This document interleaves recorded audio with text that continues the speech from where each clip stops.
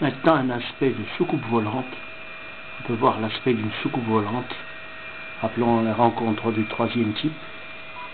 Rappelons autre chose, j'ai intégré des structures de GSF Joint, Strike Factor, HM du pour FS9 modèle